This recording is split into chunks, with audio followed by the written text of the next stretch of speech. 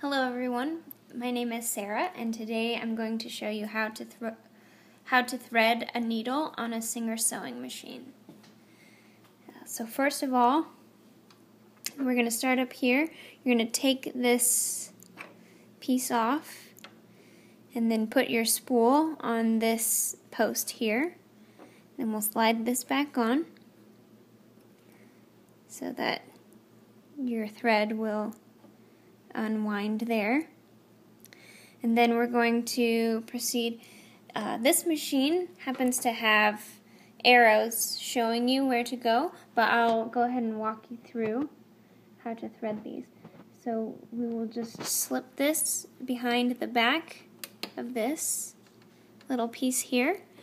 Then we'll also come in back of this piece here and just pull it through.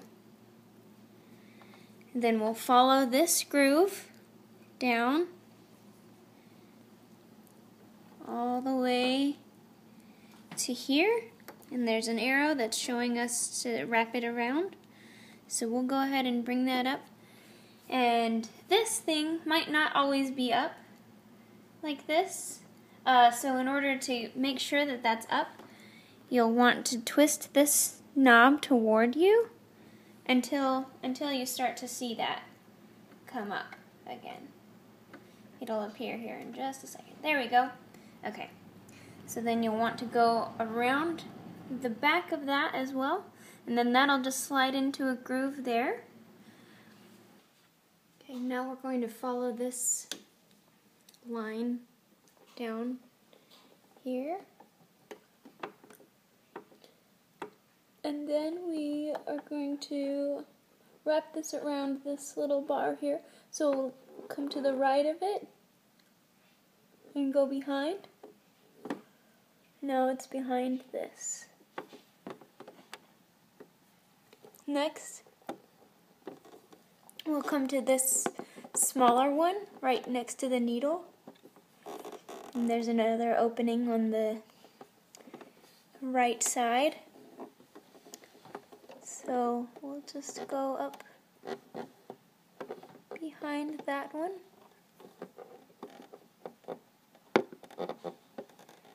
trying to keep my fingers out of the way. It's usually not this hard to thread. See, now we're behind that. And now we're right next to the needle.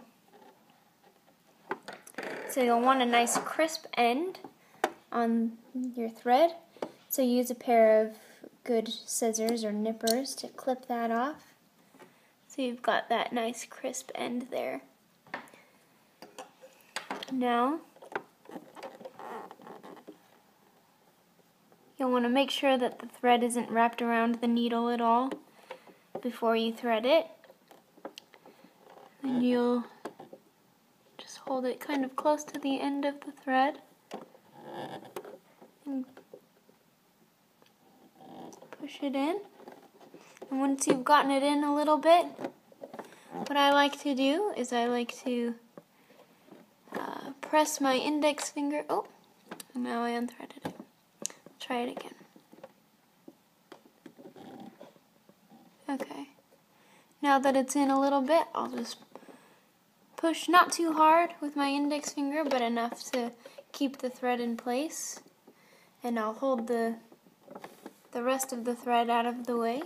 And then I will just pull with my other hand the thread through. I'll hold on to this so that it doesn't wrap around the needle at all. So it's just flush with the front of the needle here. And then on the presser foot, We've got a slit here. We'll just bring the thread through there and around to the back. And there you have it. Thank you for watching this video. I know that sewing can become an expensive hobby really quickly. So if you're interested in saving money on sewing supplies or machine parts, uh, go ahead and visit cashbackadventure.com uh, to get cash back on all of your sewing expenditures.